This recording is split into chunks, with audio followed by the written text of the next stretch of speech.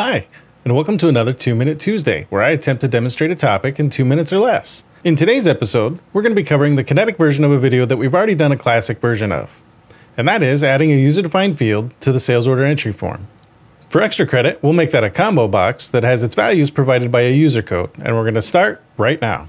Let's put 2 minutes on the clock. If you haven't seen the first part of this video where we added the user-defined fields to the database itself, be sure to check the link in the description.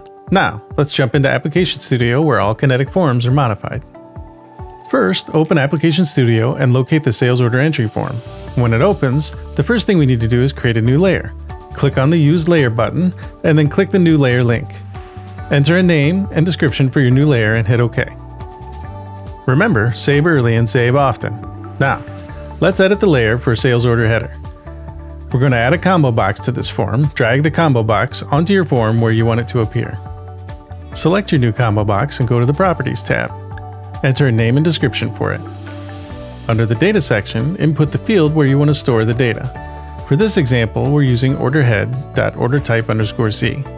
If you use underscore C in the search box, it filters to only show custom fields. Next, we'll define our user codes.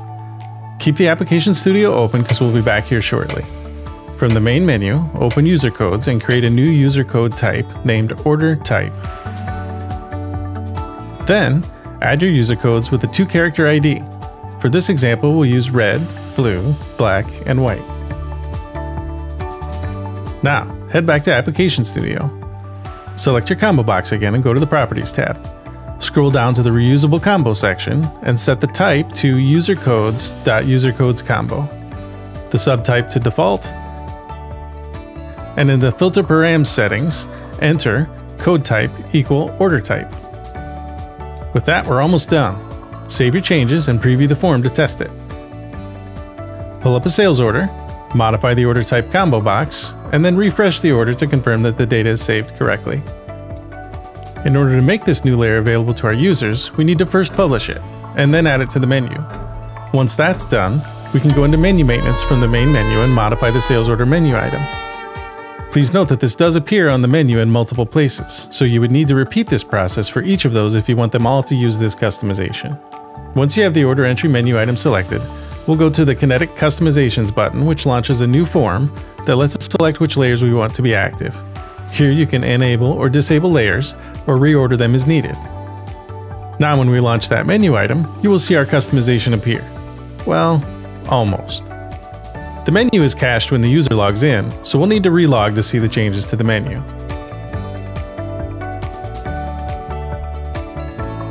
As you can see here, now we have everything working.